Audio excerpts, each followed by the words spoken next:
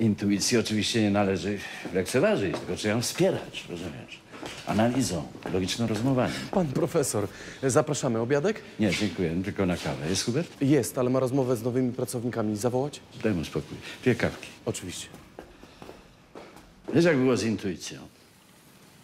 Jeden facet poszedł na wyścigi i chciał koniecznie zagrać konia numer pięć.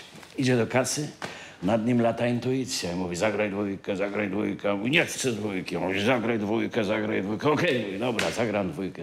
Zagrał dwójkę, konie ruszyły, dwójka idzie wspaniale do przodu, idzie, wyprzedza wszystkich, idzie i w ostatniej chwili piątka rusza, poszła, wygrała wyścig. Facet mówi, kurwa, a intuicja na to ja pierdolę. Tak jest intuicja.